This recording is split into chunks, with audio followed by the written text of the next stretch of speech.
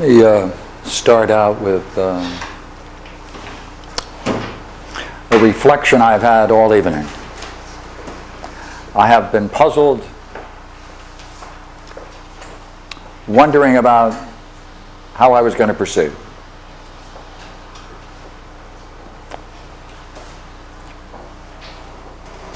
And so I think I'm going to take the more adventurous route. Was going to start with a historical, but I always feel history doesn't really present us with the noblest view, and therefore I'll sneak in history later. So, at the last talk, we were doing Plato's Republic, the arts, the spiritual arts, the training of the philosopher king. And I introduced an idea that the whole development of Platonic thought in the training of the philosopher king involves a very curious idea of measure.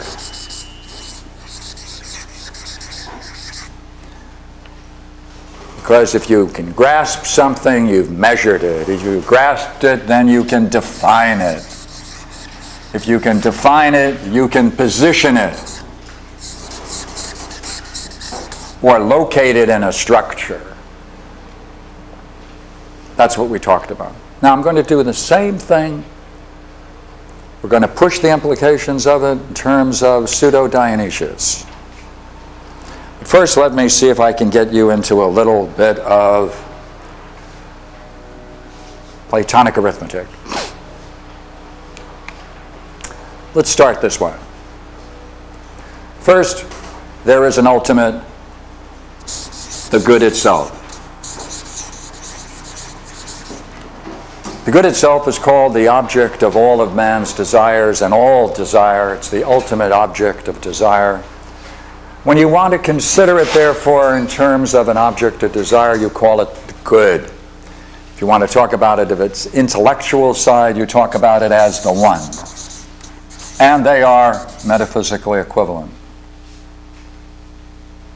Now, in terms of Platonic vision, the one overflows because it's so perfect that it overflows. There are three possibilities, of course. That overflowing could deplete itself, and then it would be less than itself because of the creation. It could be just even with itself, and therefore any creation that flowed from it would deprive itself of some of its own substance. Or it could be an overabundance, of flowing. And that's the image that's used an overflowing abundance. That's called the procession. And once it proceeds, it then, of course, returns to its source. And in that return, that's called the reversion.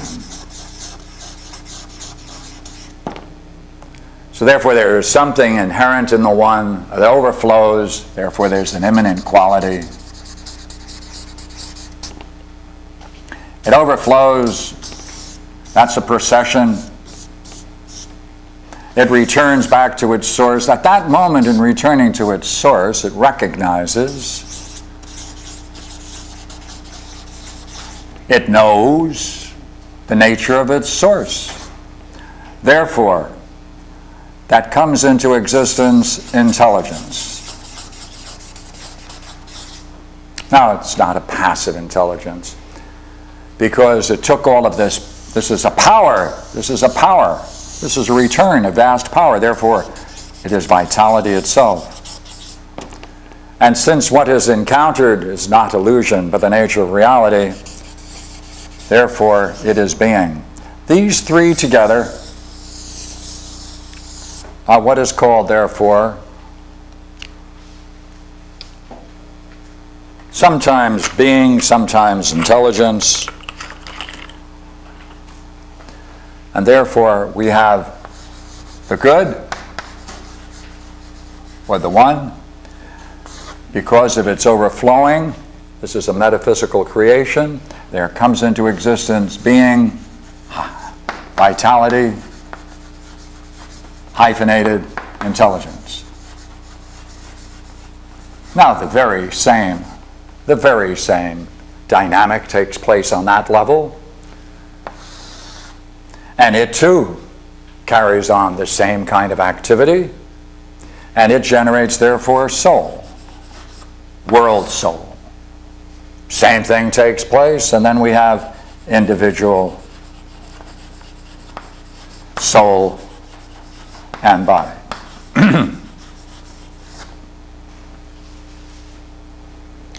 now, the whole idea of Plato, whole idea of the Platonic tradition, is based upon just one idea. and that is how can you understand the fact that there are times when we participate into something higher? To understand that is metaphysics. That's all it is. Platonic thought is nothing other than an intellectual approach to try to understand the very nature of the way in which we at times participate in things higher than ourselves. Next point. You see, we can now say, can we not, one thing which is different than a modern view. This is the essential difference between modern philosophy and classic philosophy in its simplest expression. The cause is always superior to its effect.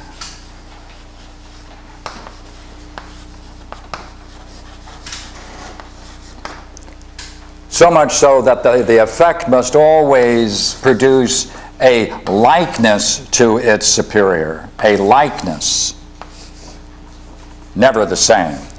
A, it produces a likeness. But wait a minute, did we not say a moment ago that this is a series of causes and effects and causes and effects? That's right. Each one is overflowing. Each one, therefore, is a cause that produces the next one.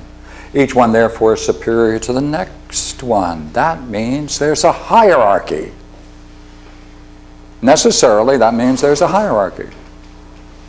If this is producing this, then this must be inferior to that. Therefore, this is superior to that. Good heavens. If this overflows producing this, then this is superior to this. In a similar way, this is superior to this. Therefore, we have a hierarchy necessarily a hierarchy based upon this one simple fact. Right? Each cause is superior to its effect. This is a cause, this is its effect. It in turn becomes a cause, and it produces its effect. It becomes a cause, it produces its effect.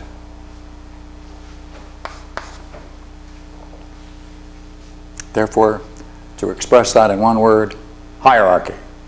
But you just got through saying the one procession goes reversion, so it completes, goes in the circle. That's right. From here, only from here. That produces this.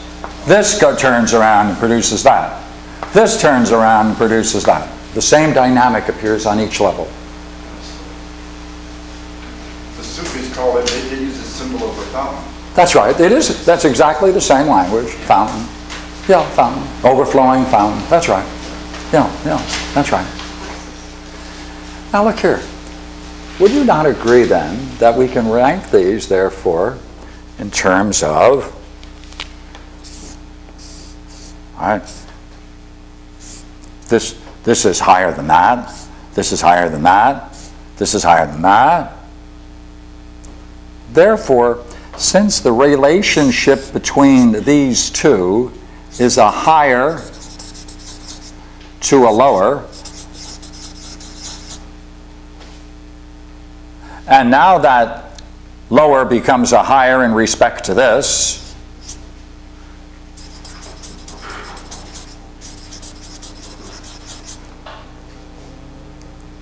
How could we express that simply? Ah, look here. The higher is to the lower.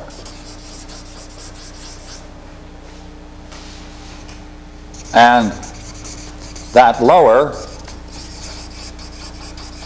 becomes a higher to its lower.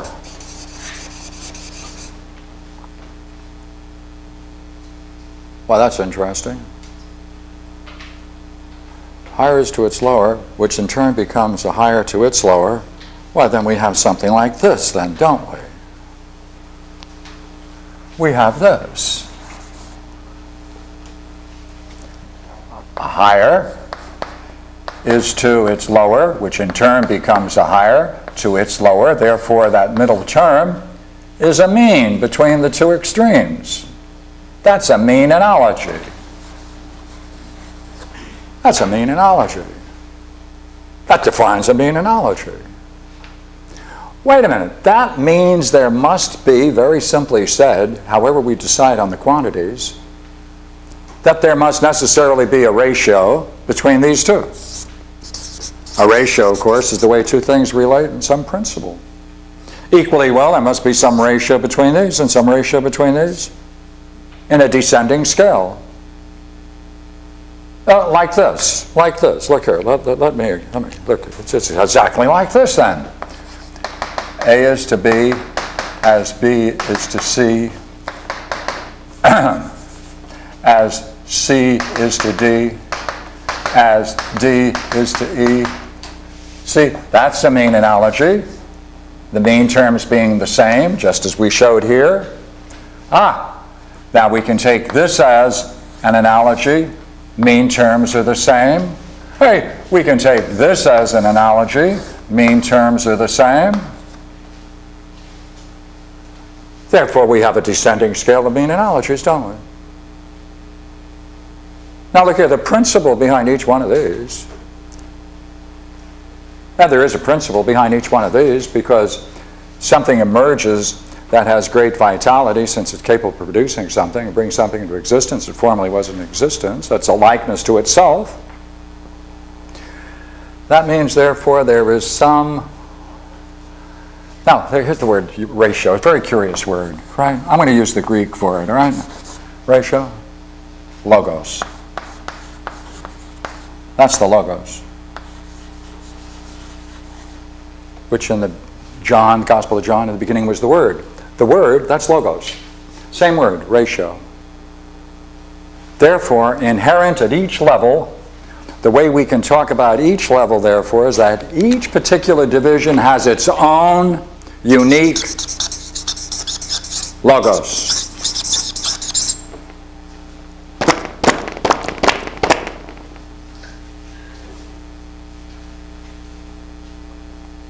That takes on the form of uh, mean analogy. Now, look here. What is it about a ratio, logos, that's so interesting? Well, if it's an object, didn't we say a moment ago, it's the object of desire on every level. There's an object of desire. The only reason it's an object of desire is obviously if you desire something, only desire it because it's good and beautiful. Otherwise, you wouldn't desire it.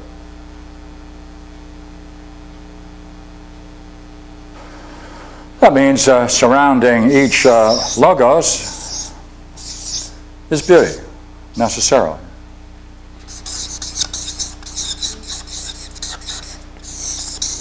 For beauty is nothing other than the manifestation of the good on a particular level. That's all. Now look here, would you not agree all we need is one more step just to wrap this up a little bit?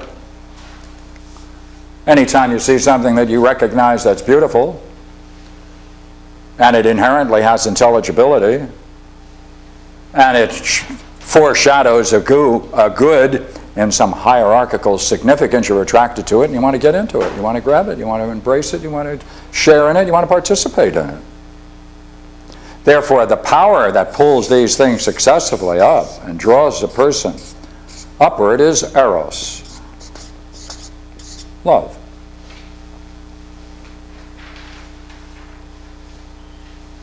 So therefore, the basic power behind the whole thing is not love divorced from beauty, but necessarily, beauty is the thing which makes it so attractive and spurs us all into it. Right? The whole problem in philosophy is nothing else but to try to persuade people who haven't known it, or haven't seen it, or haven't experienced, or haven't guessed it, that higher reality is more beautiful than the one you're in, wherever you are. That's all. And there ought to be some way of going successively from each one to the higher. And that's the training of the philosopher king, or the training of the philosopher in the Platonic tradition. Now, this shows itself up in many, many great works of literature. The Platonic tradition started, as you know, way back in the days of Parmenides, continued all the way up. Now we're going into a little bit of history. Now bringing history.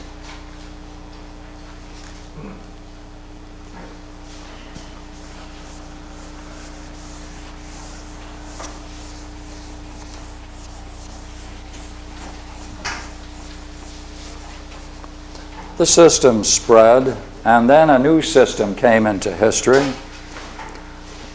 Not entirely new, but sufficiently different to challenge it, and that was Christianity.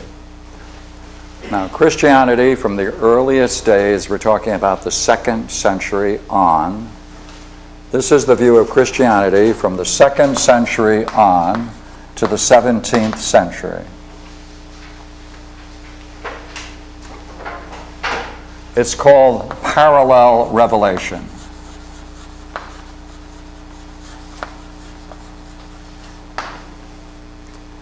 As you all know, the great game started with Moses.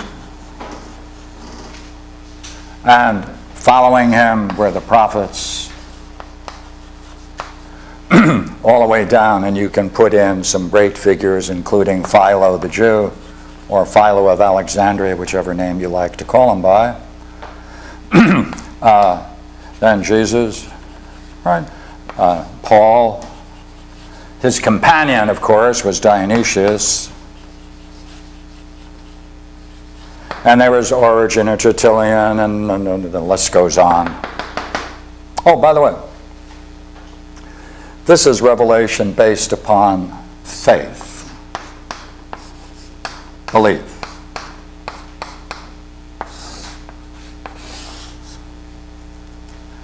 Now, from the 2nd to the 17th century, it was believed that parallel to this at the same time was Hermes Trismegistus.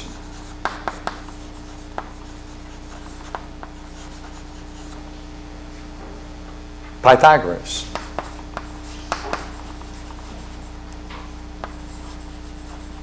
And a whole line of Greek thinkers until you get to the more familiar names of uh, Socrates, Plato, Aristotle.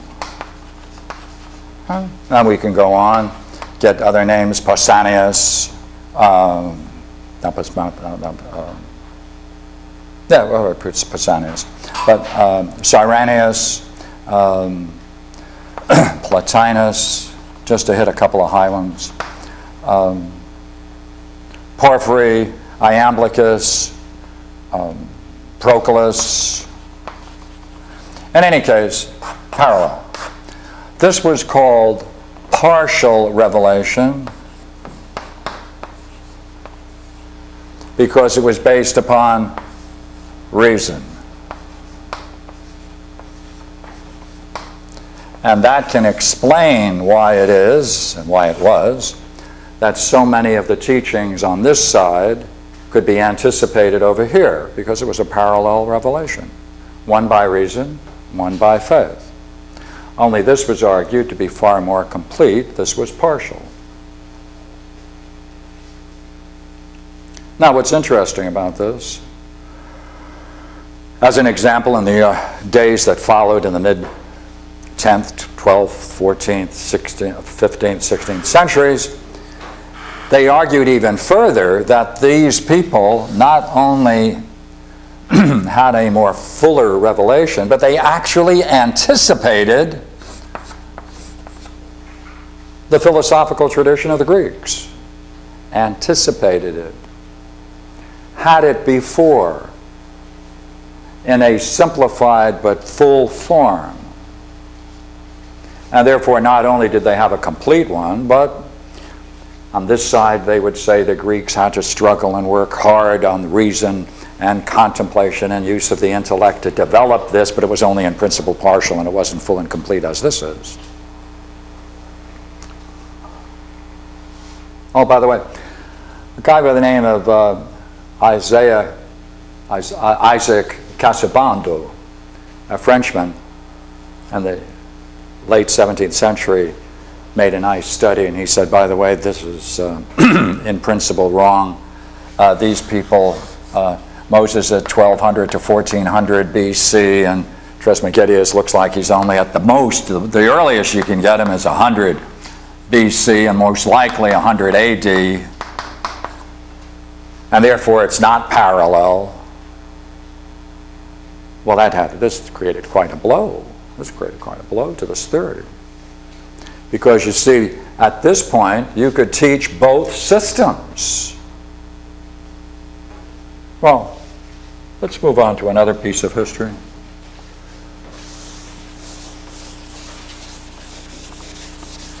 This name, Dionysius, is honored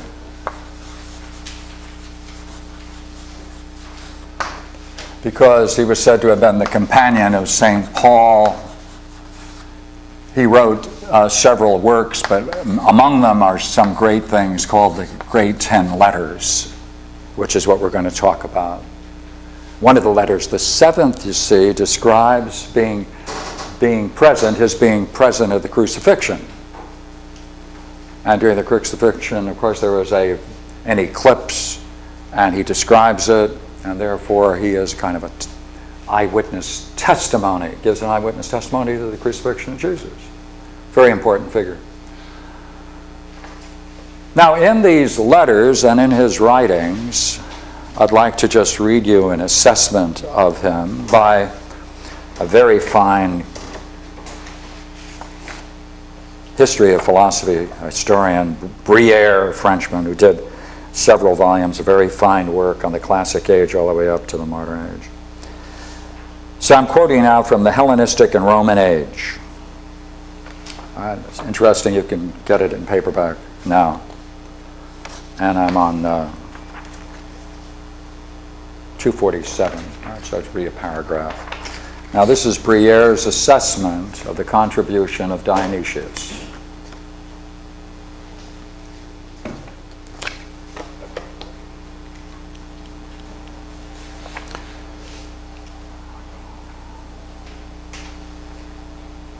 His writings fall into two classes the celestial hierarchy and the ecclesiastical hierarchy, which study the complete series of creatures capable of receiving divine revelation from the highest to the lowest. I'm skipping. The second includes divine names and mystical theology. The writings of Dionysius constitute a complete course in theology.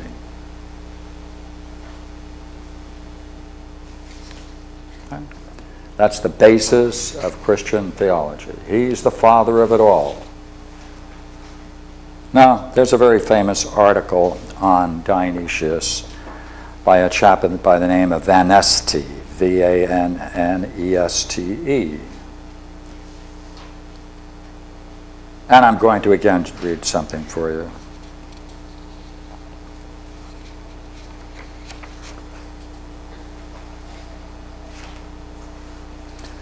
Wants to talk about the uh, effect of this man's writings on the history of Christian thought. Um,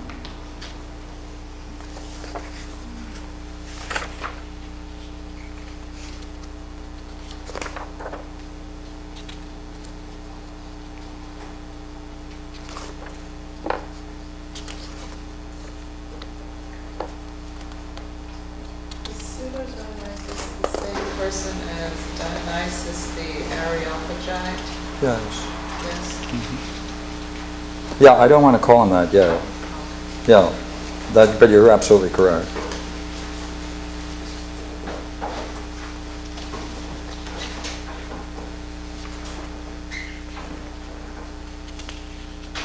Um, it's what happens when I don't underline something or make a note of it. Um, Okay, uh, you, you'll have to, I guess, go along with my memory of this article, since I don't want to take the time to find it. But um,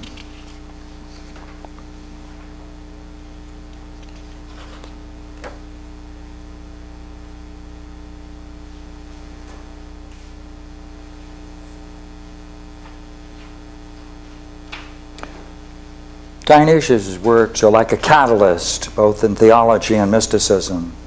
Without them, the mystical life of the West would probably not have taken such a high intellectual turn. Their profound influence was on St. Thomas, and he talks about that. In St. Thomas Aquinas' works, there were three basic influences. He built the whole system on three, three works. And Albert the Great before him.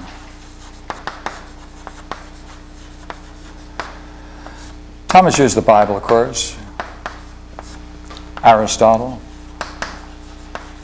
and Dionysius. He used them to such an extent that he quoted him in his writings 1,700 times.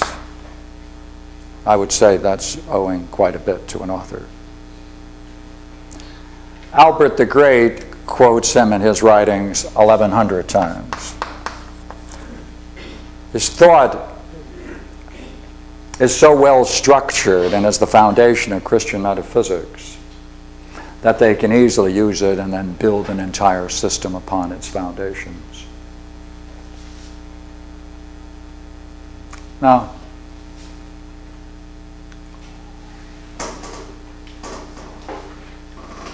chap by the name of Lorenzo Valla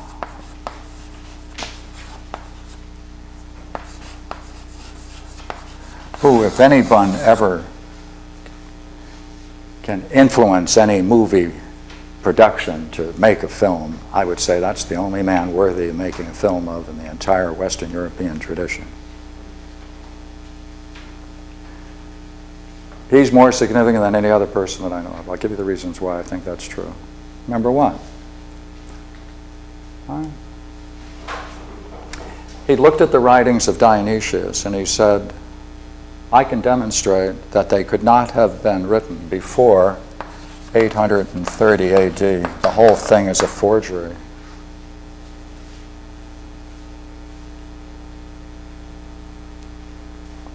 He did that in the late 15th century.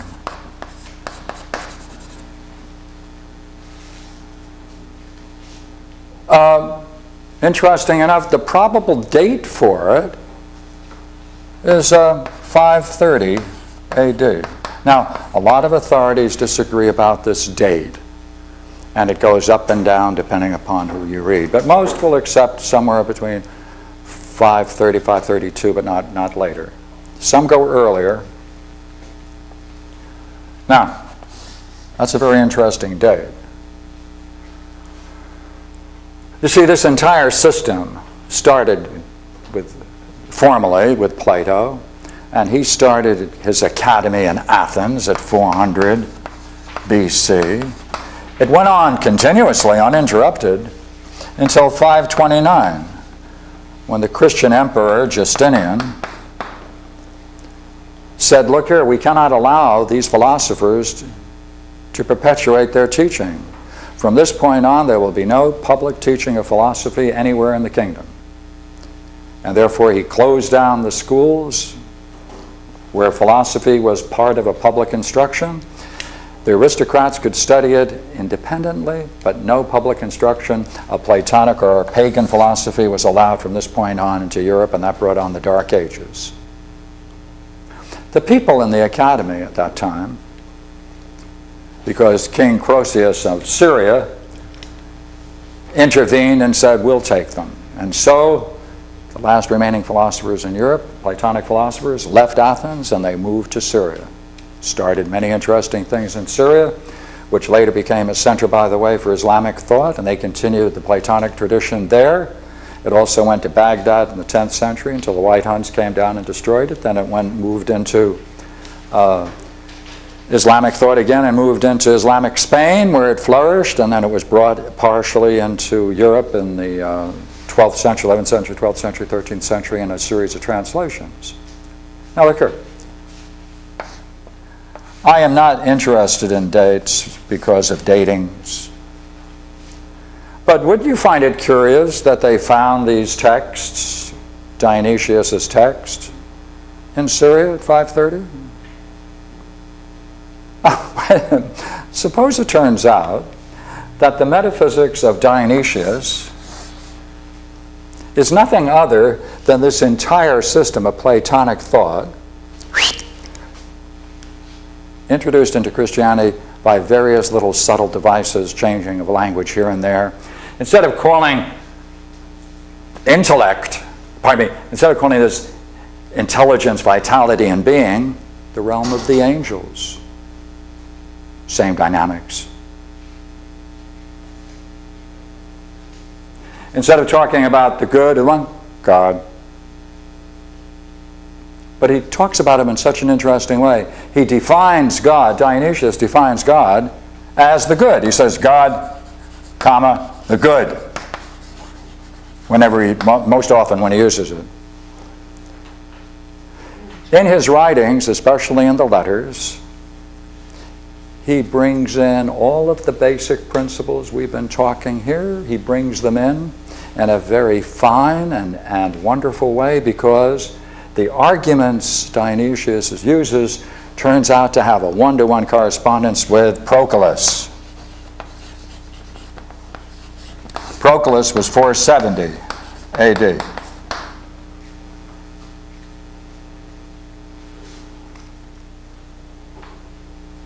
Now, why would he do that?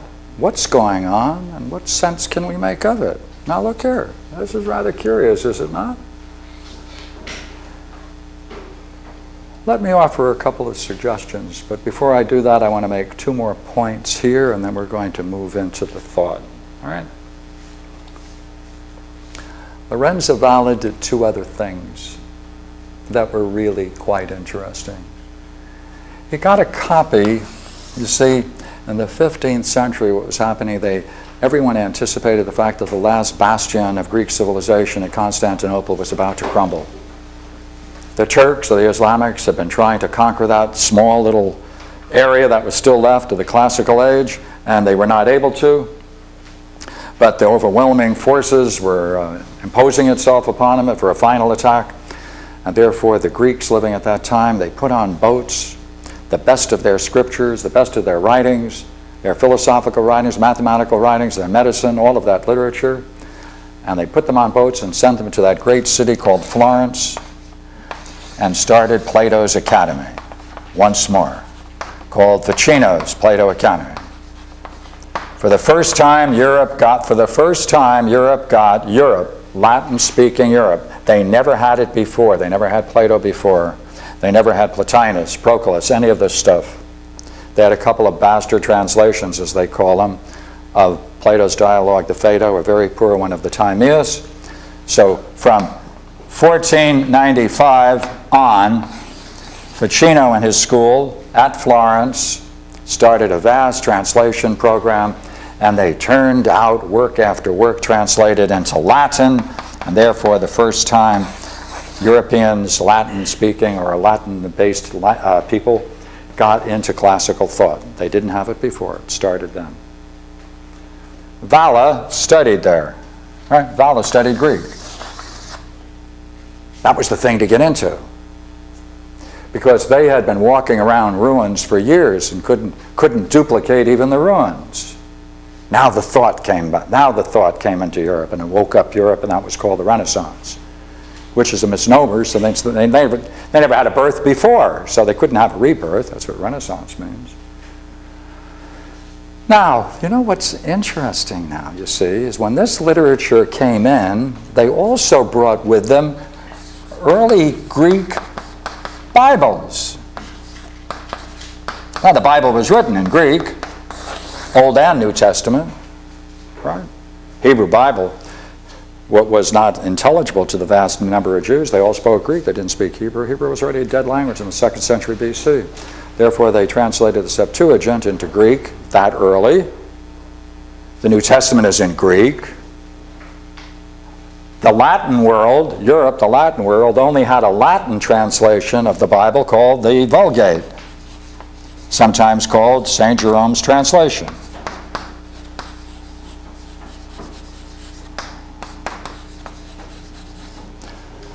Lorenzo Valla got a copy of this Greek text and he wrote his friend Erasmus and said, We're facing a great crisis. I just compared the Latin, our Bible, the Latin Vulgate edition with the Greek edition, and I'm, I have to tell you something terrible, he said. There's so many differences between the two that we're facing a crisis of the faith. This shocked them so much that they did not publish the findings, they just sent it around in letters to all of the major Renaissance thinkers. So slowly the word got out.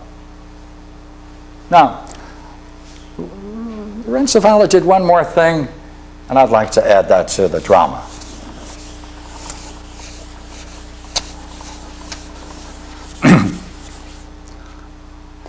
now, uh, you may be able to draw a better map than I, because I always, for some curious reason, end up drawing Greece much more bigger and all that than other countries, and I don't know why I do that, but all right. All right. Now look here. The Roman Empire was divided in two parts the Latin speaking, the Greek speaking. Because it was so unmanageable, that's the way they broke it up in the third century. When Emperor Constantine became Emperor of Rome, he saw again and again from past history that the Europeans coming down here, what were the Europeans called in those days? Barbarians, right? They were the barbarians. They were sacking Rome again and again and again, and he looked at the area and he said, Look here, this is an indefensible place. You can't defend it. Once you break through the Alps, there's no natural defense line. So he came up with a brilliant idea. He said, You know what we should do? We should move the capital of the, of the Roman Empire that's the Black Sea, and over here is the Caspian Sea, right? He said, let's move the Roman Empire's capital from Rome to this little jutting land here. It's a peninsula because there's deep marshes along this side. It makes it absolutely impossible to be attacked by land. If we're attacked by sea and this way, it doesn't make any difference. We can get supplies this way. And this, of course, you know, is the Bosporus. And he said, anytime anyone tries to attack us this way, we can just con construct a link chain across that, and no ships will be able to attack us. So therefore, it was virtually impregnable. They built a great city, Constantinople. Oh, by the way, when Emperor Constantine left, he had to leave someone in charge. So he made up this beautiful document which, by the way, the church rolled out for many, many years during public demonstrations. And it's called the Donation of Constantine. In it, you see, when Emperor Constantine left, he turned to the Church of Rome and he said, I am going to create a pope. And I'm going to bequeath to him all of the powers necessary to manage all of the lands to the west of that line. We will maintain to the east. In this beautiful document, he said, Therefore, I bequeath not only the right of the Pope to be the final arbiter of all affairs, both legal and ecclesiastical, but I give him the right to raise taxes, hold armies, hold lands, be responsible, therefore, for the coronations of kings. Before that, it didn't exist. And therefore, he has the absolute right over this entire area, and that started the Great War in Europe for hundreds and hundreds of years, called the battle between the church and state. This document. Oh, what does this have to do with Lorenzo Valla? He took a look at it and he said, Gentlemen, I want to make a small point about this after looking at it. Uh, it's a forgery. It could not have been uh, made before around 18, about 850. It was never written at the time of Constantine. That was 300 AD. The whole thing's a forgery. So he did three things. Therefore, a short while later, a young chap by the name of Luther came along and said, let's see. The Bible is gone. We have the Greek text. We need a new Bible. Wait a minute, why do we have to hold on and believe in the Pope and his offices and his councils? They're based upon this document. Therefore, there's no legal right to hold us and bind us to the Church of Rome. That's gone. Metaphysics. What do we have to worry about metaphysics for? It was designed by a pagan, Dionysius. So therefore, he redefined Christian faith based upon conscience, didn't he? One man did it, Lorenzo Valla. Pardon? I didn't hear, based on Luther. Based upon Luther? I hope. Pardon? Conscience. Conscience. Oh, conscience? Yes, Oh, conscience. conscience. Conscience, then. Conscience. Right?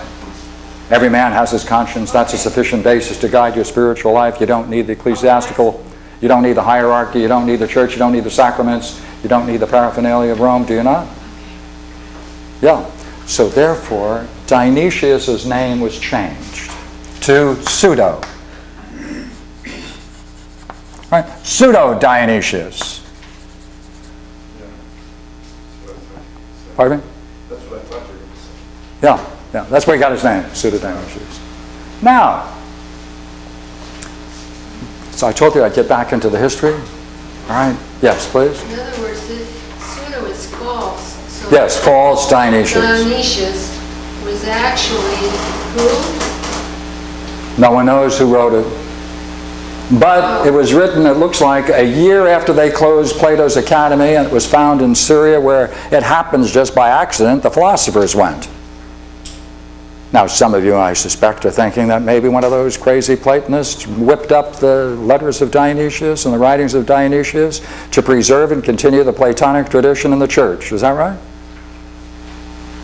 Well, what you have to do, all we have to do is see to what degree can we say that this thought that we represented here is in Dionysius. If it is,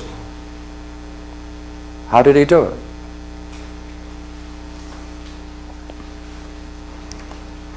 All right. Now,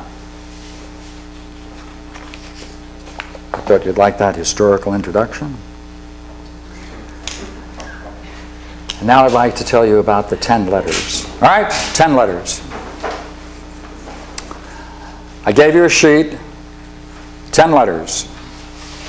Now, if you have time someday to get a good book and you want to get into this in some detail, I strongly recommend you get the book, The Hierarchy and the Definition of Order in the Letters of Pseudo Dionysius by Hathaway. You're going to have to repeat that. Well, it's there on the bottom of the page. Yeah, yeah.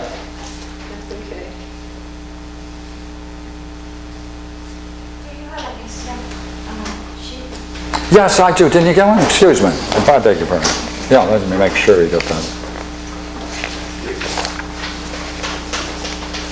It's also good for a Christmas gift if, uh, makes good Christmas cards if you fold them over. Right.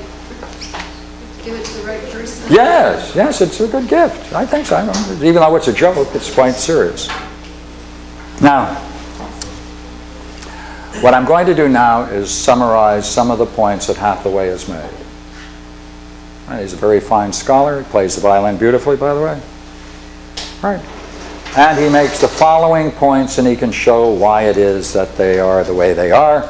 And it's not part of my thesis that I'm going to present to you, therefore I'm just going to summarize them so I can do what I want to do. All right, first thing he says. These ten letters bear a very close relationship to Parmenides. If you take Parmenides, Plato's Parmenides, and he has what are called the nine hypotheses. All right? And guess what they are? The first, second, third, fourth, fifth. The first is called the one. The second has been given the name intelligence, being, etc. Soul, body and soul. And matter, or unformed, non living. Right? Two, three, four, five. And then there's the denial of these, the denial of the second, the denial of the third, the denial of the fourth, the denial of the fifth. That is to say, he whips out a great metaphysics where he shows you can understand the nature of the one. He gives you the logic and the tools necessary to understand intellectually intelligence, the soul, body and soul, matter. And then these are the arguments against it, which, to, which is a rejection of each of those points in the sequence that I just made. So, one is pure, stands alone. Two, you can actually, if you'd like to see it in a figure, I think of it in a figure and I'd like to share that with you. Stay there. You can put the second, third, fourth, and fifth hy- hypothesis, which represents each one of these, and their denial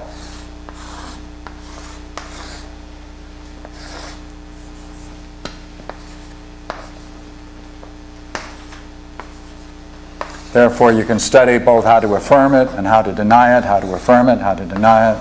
Then you can see the relationships going any number of ways you want. It's extremely well organized, and each one of these can be re- represented in this uh, great structure. Now, Plotinus comes along, the great Neoplatonist, and he spends all his time trying to explain how you can make the transition between each one of these realms.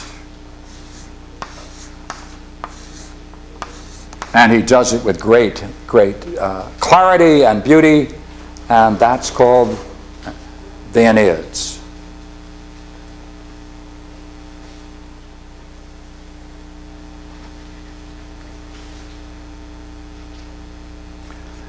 These, as we said a moment ago, are hierarchically arranged.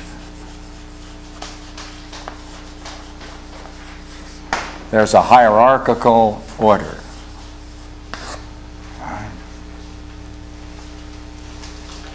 Pardon me, excuse me. Um,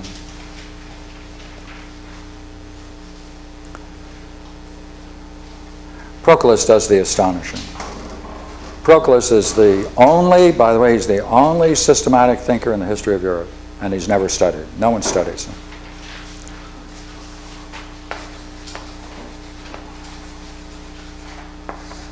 Proclus is totally amazing, totally amazing. He develops a rational system that makes clear every idea that's built by Plato and Plotinus, and he puts it in a beautiful intellectual system called the Elements of Theology. That's what he calls it, the Elements of Theology. And I footnoted that for you at the bottom of the page. Now, if you were to get the book, if you were to get the book, Proclus's Elements of Theology, and you see those numbers, the propositions? 2, 23, 27, 28, 40, 64, 65, 100, 103, right, 148, 151, right, 185, 103, uh, two, no, 200, 203, right. If you just studied those, you could then go back into Pseudo Dionysius and you could go line by line and you can say, ah, ah, restatement, restatement, quote, restatement, quote. But with this first, let's go back, right? Now, how does the letters represent this? According to Hathaway, and he does a beautiful job, he says you can take the first letter, you can put the letters right along here. Pseudo Dionysius took Plato's metaphysics.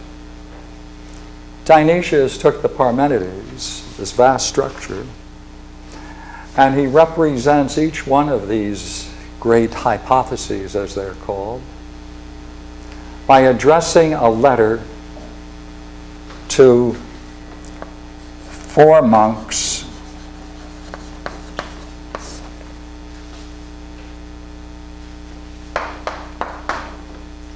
Uh, you know what he does? Then a minister, and then a priest,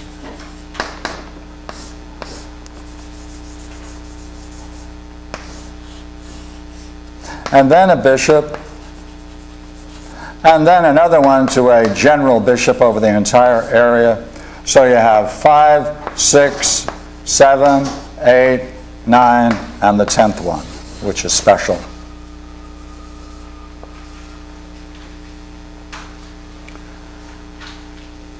Now, Dionysius is going to do one basic thing over and over again in these 10 letters. He's going to try to demonstrate to presumably the person to whom he sent the letter, he's going to try to demonstrate that in order to bring around a natural justice in the church and in its functioning, you have to have these people arranged in a hierarchical order.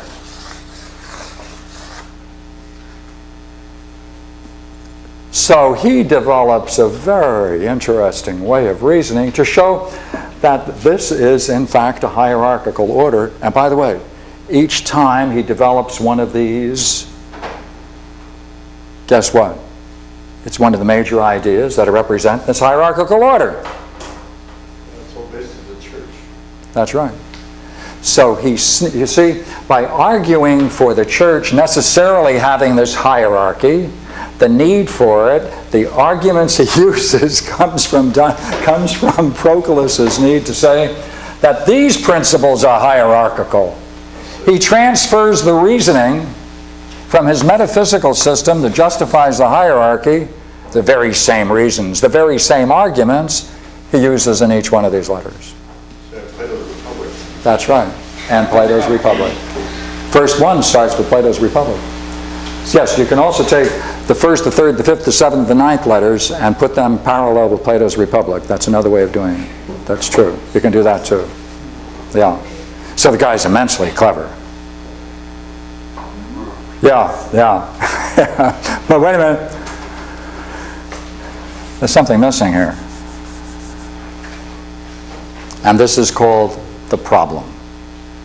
And that's what I wanted to talk about a little bit tonight the problem. Why does Pseudo Dionysius, or Dionysius, why does he bring in a monk? And he breaks the whole order. I mean, he's violating the hierarchical order. This is very strange. I mean, what's he doing it for?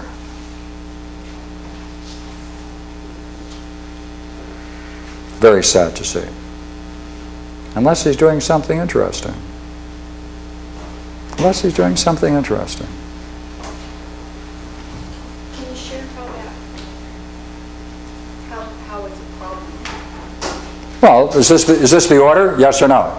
One, two, three, four. And the last one, by the way, is addressed to John the Apostle, the Evangelist. Does that look like a hierarchy? Does it? That what you're saying? No. Yeah, well, look here. Just do follow me. Four monks. There are four grades of monks, by the way. Minister, priest, bishop, countrywide bishop, John the Apostle, the Apostle Evangelist. Does that look a, like a hierarchy? Yeah. Yeah, except for one thing. What's in here? A monk. Yeah, it's out of whack. It's out of whack. That's a problem. Doesn't fit. The eighth is a monk. Something's wrong. Agree? Doesn't fit. Yeah. Therefore, all the speculation on, on pseudo Dionysius then is what is the significance? What is he doing? What is he doing in the eighth letter? Therefore, I brought along the eighth letter. I thought I'd read you parts of it and see whether we can then have a little fun with it. All right? Eighth? Letter is the monk. What did I put in the wrong one? Yeah, oh, excuse me, that's eight.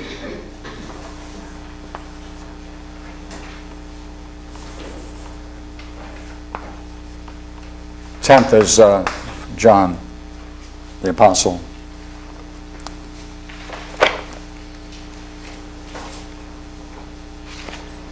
Now, the, uh, just while I'm getting the material out, please look at the note on uh, uh, the ninth.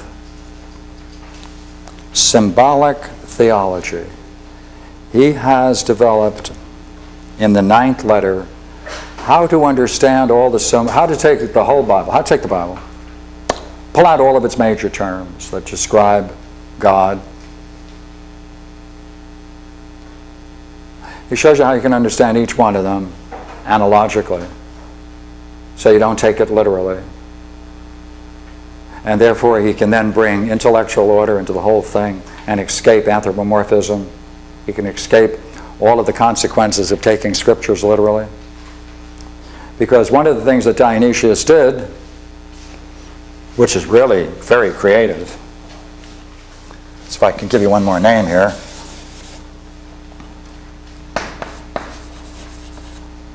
Philo from Alexandria, or Philo the Jew.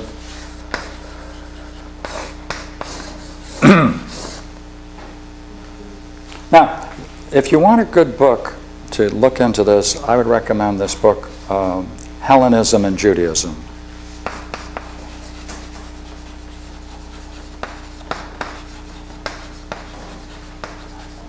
By Hengel. It's a two, two volume work. Beautiful piece of work. He studies Hellenism in the Holy Lands, talks about it, has great sources, brings it together. But, all right, take that as a background. Let's go back to Philo. Philo was a Jewish philosopher, and he saw that the Old Testament is anthropomorphic, and it allowed a certain kind of identi- identification with Judaism, and that identification didn't allow them to be more cosmopolitan. At this time, by the way, there are more Jews living in Alexandria than they were in the Holy Land. Right, they had been spreading around throughout the Mediterranean. And therefore, he began speculating on the following thought. He said, How is it that the Greeks are able to keep Homer, with all the anthropomorphisms, with all that strange uh, behavior of the gods, how can they keep their, their theology, their mythology, while still being rational? How did the culture develop an entire intellectual system with intellectual values of the highest degree and have a religion based upon Homer? Based upon a crude mythology. So, what he did is he started reading all of the people who were commenting on Homer, and he found the allegorical method. He said, That's what the Greeks have done. They have, through the use of analogy and using the, the uh, allegorical method. He changed it into an allegory. He said, I know how to deal with it now. I will do with the Jewish Bible exactly what the Greeks did with Homer. Set up a structure of analogies, treat it as an allegory, and therefore we can be just like the Jews, pardon me, we'll be just like the Greeks. We'll allegorize the whole thing, and therefore show it has an intellectual direction, and we don't have to take it literally, and we can free ourselves from all the anthropomorphisms. And that's what he did in six volumes. Dionysius did the same thing, see? He went to the Old Testament and the New Testament. He pulled out all of the terms, and he did what Philo the Jew did, only he did it on the New Testament as well as the Old Testament. And when you read that, the key for doing that, the key for doing it is only in 10 pages. And that's letter number nine, called symbolic theology. Today that's called hermeneutics, a hermeneutic principle that allows you to understand how to take those terms and understand them in non-literal terms and how to do it. So that's the ninth letter. Very beautiful letter. Um,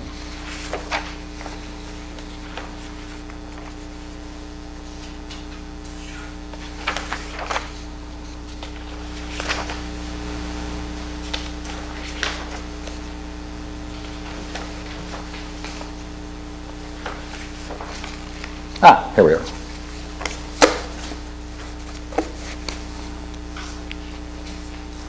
I have an extra copy of the letters if someone would like them after. But it's Xerox, but you should get the book. Um,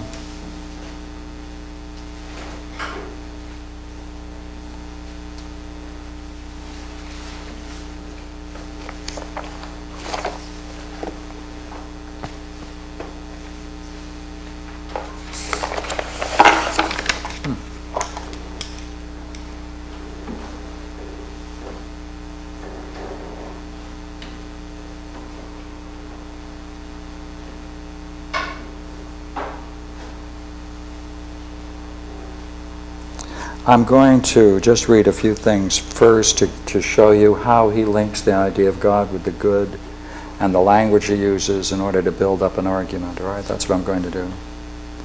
He who holds converse with God, comma, the good, must model himself most of all on the likeness of the good, insofar as attainable, and must know in his own conscience, in his own deeds, performed out of the love of the good.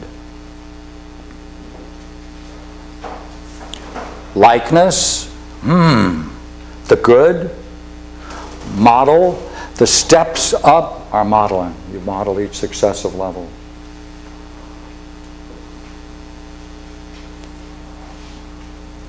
What made David a friend of God? Only the fact that he was good, even good to his enemies. I have found a real man after my own heart, says he who is the lover of the good and who transcends good. A good law was laid out even for enjoying the care of one's enemy's oxen. Now consider Paul, everything that Paul said. What does, what does Jerusalem have to do with Athens? I Remember all the statements about Pauline theology, you have them in your mind? Notice Dionysius now. The Word of God celebrates all good men who neither suspected nor did evil things, nor followed those changing from goodness because of the evils of others, but who, on the contrary, follow those who made the evil good and simple in a divine way, giving to them their own manifold goodness and reasonably summing, pardon me, and reasonably summing them to its likeness. But let us raise ourselves to that which is above, praising neither meekness of saintly men, nor the good deeds of men loving angels who take compassion on nations and plead for the good of their behalf nor, and I'm skipping, nor praising other things regarding the good deeds, the good deeds of angels, such as the Word of God, but, but receiving in peace the good, bringing rays of the really good and trans good Christ. Let us raise on these to his divine good works. This is not a sign. Is, is this not a sign of goodness beyond speaking and above knowing? That he made beings to be. That's what it, the one made being. Right? Made the beings a being. And having led all things, right? And having led all things into being, that he wills all things eternally to be like himself and to have things in common with him, each according to its own aptitude. See, he's now going to go on a whole thesis of light and Proclus is going to say in this structure that one way to look at this as this is light descends, beatific light. Divine radiance and luminosity spreads through the whole. That's the bind that keeps all the universe together. Therefore, he's going to use images of light. Dionysius is going to use images of light, radiance, the sun, Contrary-wise, you're going to use the cave and darkness. And we're going to say, hey, I know that language. That comes out of the allegory of the cave. That's right. He's using it in his back pocket the entire time. Now,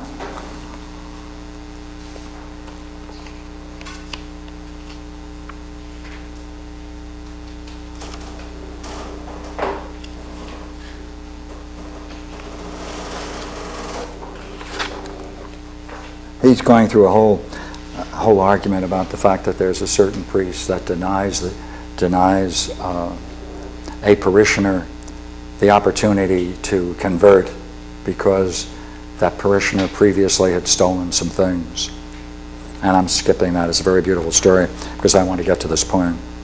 He's now looking at this entire list the ministers, the priests, the bishops, John the, John the evangelist, each class of beings around God is more divine in form than that which stands further away. And those nearer the true light are more full of light and able to shed light. Now, don't take the nearness in a spatial sense, but according to the sense of the aptitude of each class for receiving the gift of God. For each class has an aptitude and a receptivity to the unfolding effluence and light. To the degree they have a capacity for it, they merge with it on a higher level.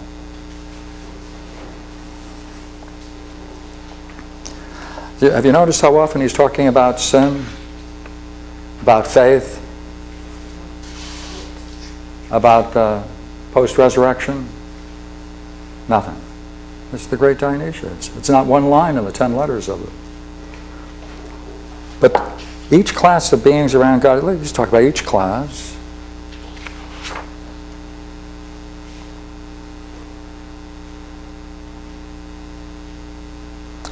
To speak plainly, in all beings there's a distribution from the first to the second by a well ordered and most just providence for all. Consequently, it is those who have been arranged by God to rule over others who must distribute what is fitting first to themselves and then to their inferiors. Therefore, that overflowing, this the whole order, is nothing other than the unfolding of, here's the new word, providence.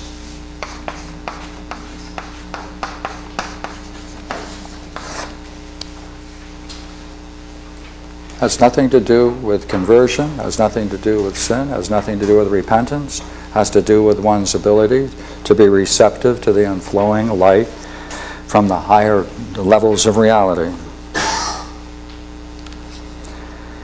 And now he's going to go into, now he wants to now talk about how all this relates to the soul of man, so he's going to get a hierarchy in the soul of man. And he's going to have reason, he's going to have passion, he's going to have appetites. And that comes right out of Plato's Republic.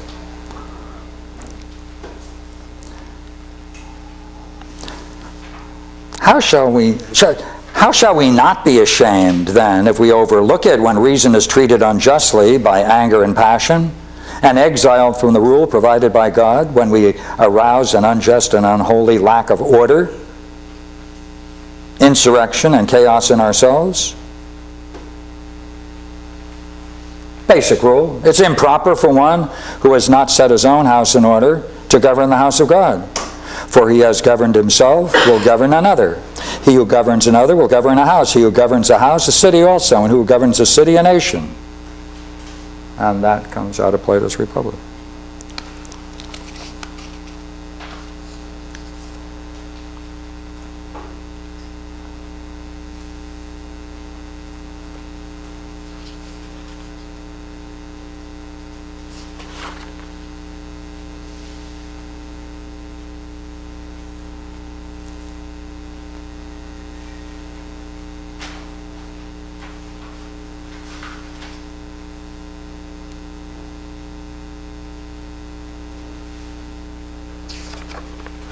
Okay, let me give another one. Very interesting.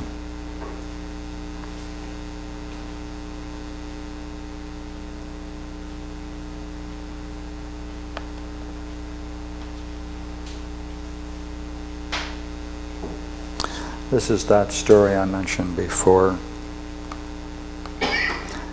But you, having met that fellow who was beginning to look up towards illumination, and having given him a blow to the cheek as he was coming towards you in much modesty, you boldly spurned him. He, the very man for whom Christ in his goodness was looking when wandering on the mountain, and whom he calls when fleeing, and whom he takes as soon as found on his shoulders. Let us not then, I beg let us take counsel. Let us, let us not, I beg, let us not take counsel badly on our own behalf or turn the sword against ourselves. For those who undertake to injure anyone, or on the contrary, to take their true welfare in hand, do not always accomplish the things they desire by associating themselves with evil or with good.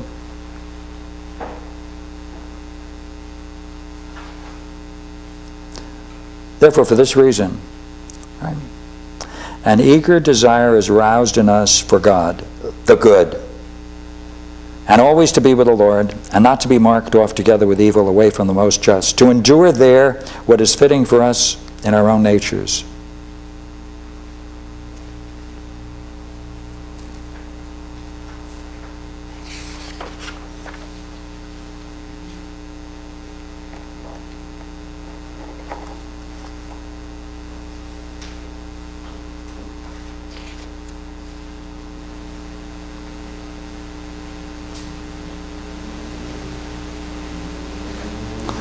There isn't one line in this entire work that deals in any way with a Pauline doctrine.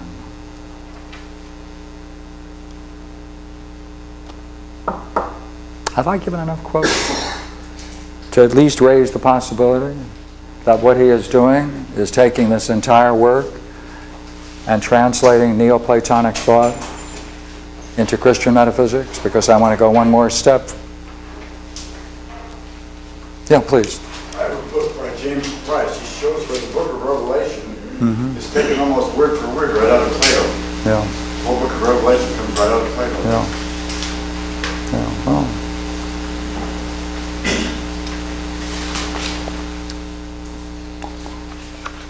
Okay, I would now like to go into, uh, okay, no, remember now, we have not in any way dealt with why it's there.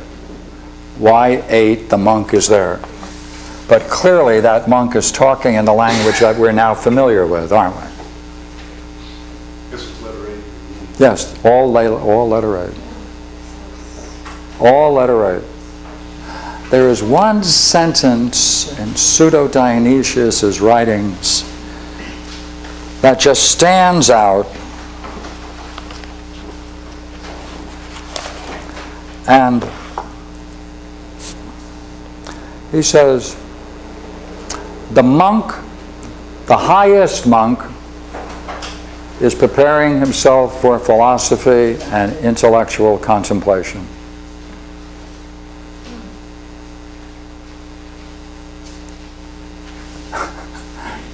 and that's number eight.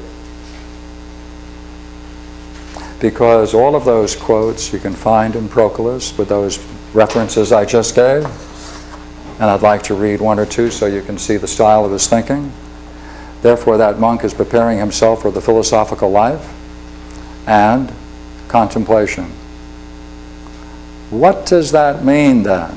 How then is philosophy and Greek metaphysical thought being introduced into Christian metaphysics? How is it being positioned? What is Dionysius doing? Well, you know what? I was going to go into symbolic theology for a minute, but I'm going to go to the 10th letter, read the 10th letter for you. Okay? Because I like it so much. And it's very short. I can read the whole thing, which is another value to it.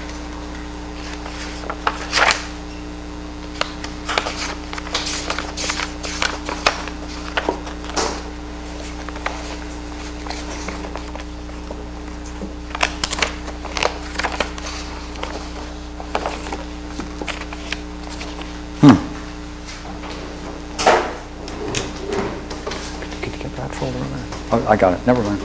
I didn't think the. Yeah, okay.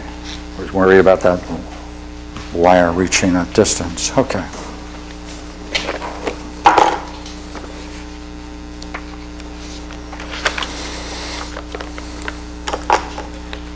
Letter 10. To John the theologian, the apostle, the evangelist, in exile on the island of Patmos. I address your holy soul, O beloved one, and it is my privilege to be closer to you than others. First point, right? Closer to him than to others. Greetings, truly beloved, especially beloved of that which is really the object of love, desire, and affection. What is remarkable in the fact that Christ proclaims the truth and the unjust drive his disciples from their cities when they are unjust and are giving themselves what they deserve. And the accursed are separating themselves from the holy and are departing from them. Principle Truly, things visible are manifest signs of the invisible. That's one of the ratios. The visible stands to the invisible in a ratio. Nor will God be the cause of the just separations of men from himself, but they will wholly separate themsel- themselves, just as we see others here in this world living with God because they are lovers of the truth, because they withdraw from the material involvements of the passions and desire peace and all freedom.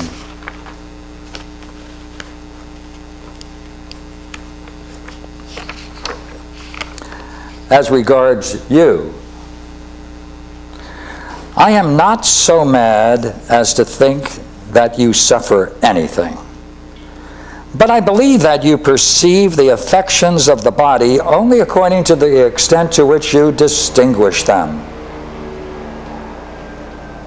Although those who think to harm you and banish you do not correctly punish the son of the evangelum. I pray for the remission of those who are harming themselves, to convert them to good, so that you might draw them back to share in your light.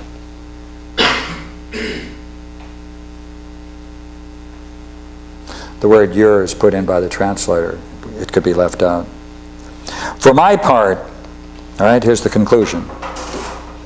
For my part, nothing contrary deprives me of the light full ray of John. For the present we shall read these writings in the memory and the renewal of this, your true teaching about God. And in short, while I say it, though it be audacious, we shall be joined to you. I am trustworthy concerning the things prophesied of God about you. I am trustworthy concerning the things prophesied of God about you. Having both learned and then stated that you will leave the prison on Patmos, that you will return to Asia Minor, and there produce imitations of the good God and leave them to posterity. What is he claiming?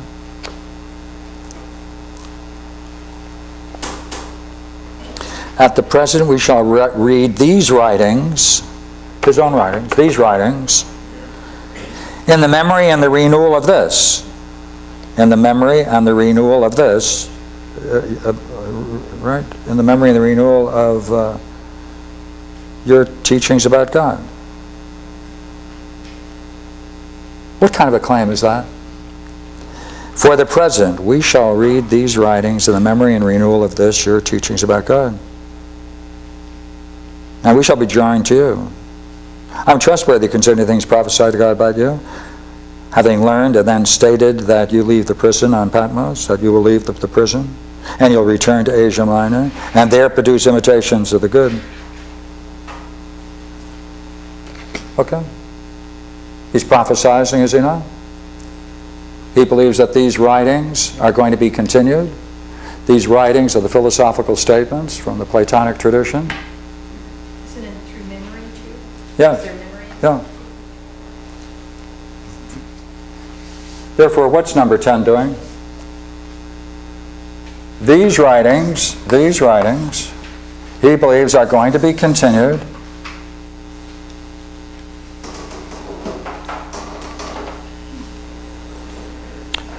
We shall, future, we shall read these writings in the memory and renewal of your own teachings. That's rather curious, isn't it? We're going to read these writings in memory and renewal of this, your teachings. Then we're going to read all of these writings in view of your teaching. And I prophesize, he says, that we'll be joined to you. And uh, I'm trustworthy concerning the things prophesied of God about you.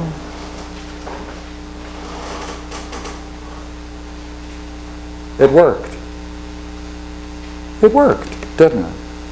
They incorporated these teachings into the church's doctrines. He saw it. He, he saw it at the time of writing it. And therefore, he brought in the Platonic tradition into Christian metaphysics.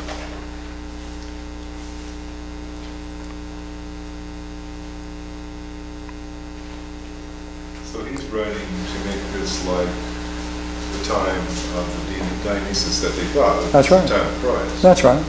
So it's predicting Yeah. exactly what he's doing. Yeah. So 500 He's predicting what he's doing 500 years later, as it were. Clever? Immensely clever. Oh, well, Fooled a lot of people for Only thousand years. something like that. Right? 1,300 years. Right? You know, the damage is, of course, that now, uh, uh, now, Valla did his work at the last part of the 15th century, but the Catholic Church didn't accept those, th- those findings until 1895, when another scholar, a German, decided to do a similar work, and then they accepted it. So this year, 1995, is the 100th year anniversary of the Church's acceptance that this work was a forgery. But the damage was, you see, that kind of speculation, that kind of contemplative activity, which was at one time allowed for monks, that's how it survived, lost its favor. Interesting enough, though, it's very rich, and they can forget it, and they can reject it, but we don't have to. It's a great piece of writing. It takes that metaphysics and brings it into the human dimension. Was it about 1895, the first? Stiglmayr, yes, translation? Captain Stiglmayr did it. Pardon pardon me? Isn't that when the first modern translations of Plato use a lot of that? Yes, yes, yeah, yeah, same days. Yeah, within that, yeah, that's right. Mm-hmm. Other than St. Mary Thomas. Well, it's nine o'clock. Well, no, the Constantine of, the, fo- the legacy of Constantine. Donation of donation Constantine. Said was a forgery. Yes, that's a forgery. So the Dionysius forgery. Right, well, how did, who, would- who came up with the Constantine thing? You go, okay, but he discovered that too. On Ford, yes. Wouldn't that make a great movie? The whole papacy is I mean, all those I wars fought mean, over to be able to dramatize that and the struggle and the impact and the social impact on it, religious impact on it, what it did to the universities, what it did to the Catholic Church, immense. Would it be a great story? It'd Be a great story. What about the area? That's what he's called, Oh, that's, Pseudo Dionysius the Areopagite. Yeah. And his works are called the Corpus Areopagitum. Yeah. Well, thank you for joining me. yeah. I'll take any questions from the floor.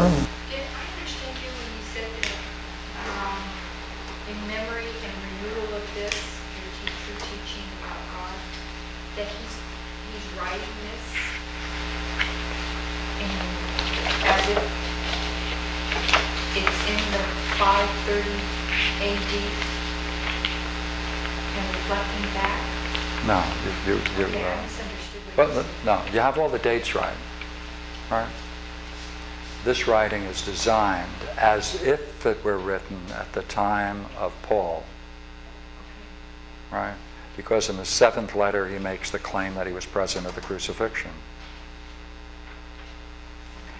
But according to the evidence, it was only written at 530, 530 AD. People accepted it from that point on as authentic. Though there was a battle, by the way, there was also a battle about it. But And what you said no, okay, all right. Therefore, look, this is not an easy sentence to read, all right? And maybe you should read it yourself, but I'll read it again.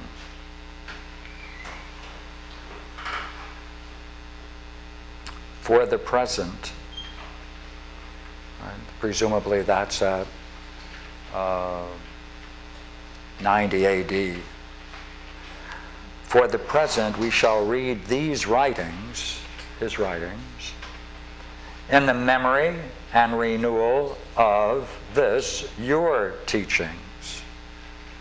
We will take these writings in the rememory and renewal of your teachings. Whose teachings? His, his, he's John. John the, Oh, John. The apostle. I See, see. John the apostle, did the gospel. Of John and pre- presumably the uh, Revelations. Because when he says the island of Patmos, traditionally that's where the Revelations was written. Now, there's another claim that the, the John of Revelation was separate from the Oh, yeah. John. That's true. Johns. Yeah, if you put the dates down, it makes it pretty impossible because the most, good number of scholars put the date on the Revelations to be 110 AD. And if it's John, and then if he was 30 at the time when he met Jesus, right, that would make him 110 when he wrote it. And, and, and the a number of years you put on top of that makes him even older. So, it's, you know, a- some German scholars put it up to 120. There's a battle in all of this, minus and plus 10 years, by the way. Except for the Gospels, there's a minus plus of about two years. So for the present, we shall read these writings in the memory and renewal of yours. Now, what, you know what that means? That means if you take the Revelations, and what are you going to do with them? And the Gospel of John. If you take these writings as own, in the memory of Revelations, you know what you're going to do? You're going to treat it, the entire work of the Revelations, through symbolic theology, that's the ninth letter, and you'll then generate a Proclus metaphysics. That's what you do. Because the ninth letter is the work on symbolic theology, how to take all of the symbols, how to take all the symbols and treat them rationally as a structure, an intellectual structure. So if you take his writings and in memory of what John is doing, you know what you're going to do with the Revelations? You're going to intellectualize it and remove all of the anthropomorphic elements. And that's what they did. Clever piece of work, isn't it? Amazing? Well, somebody should tell the evangelist. Pardon? Somebody should tell the evangelist they're talking about Revelation, things that are going to happen. Yeah. Is there something in the future? It's all happened already. Yeah. Well, always happens. yeah, good. Yes, please. I'm just still confused about the placement of the, that, the monk that's out of place. That's right. That's right. Okay, two things, all right? One is, one of the key quotes of Dionysius is that the higher, the, the higher vocation of the monk is to prepare him for philosophy, for a intellectual contemplation of the good. So these are, what this is called, these four are called basic theology, which I indicated there. This is placed here because he's breaking up this order and making a claim for the role of philosophy, isn't it? Or Proclean metaphysics. In Book 10, he's saying, look, now that I showed you how to understand symbolic material, you can use my writings to understand John's revelations. Clever? Just almost, I'm just underscoring basically how Yeah. his stuff is. Yeah, yeah, yeah. yeah. Now, his other two works are immensely interesting. You know, uh, mystical theology. Alan Watts, by the way, did a very fine translation of the mystical theology, which Dionysius wrote, which I have up here and uh, so do some other people. But, uh,